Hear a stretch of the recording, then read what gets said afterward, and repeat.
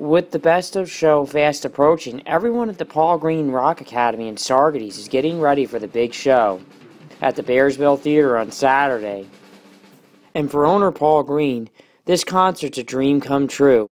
Me, it's my actually my favorite event that we do in the course of the year because it every song that you see has already been stage tested and refined. So it really is the best of what we do, which is teaching kids to play great music by playing great music. And raising money for scholarships with the goal of giving everyone who wants to learn how to play a chance to play.